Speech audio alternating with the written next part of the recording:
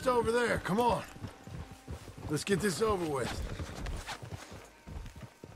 Well, that could have gone smoother. That'll be on my gravestone. You think they look like they're paying 5000 for horses? I guess we'll see.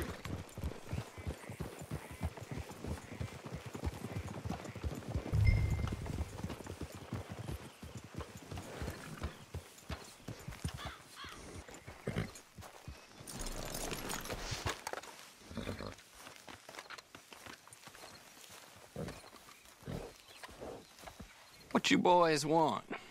Heard you was, uh... Heard you pay good prices for horses. Oh, we'll buy more or less anything, Pop. That so? Sure, Pop. I'm Clay Davies. That's my brother Clive. We're twins. John, Arthur, Javier. So what are you? Cuban? No, I don't like Cubans. That's so. Maybe. Why, what do you care? You ain't Cuban. Maybe I like Cubans. Ooh, you're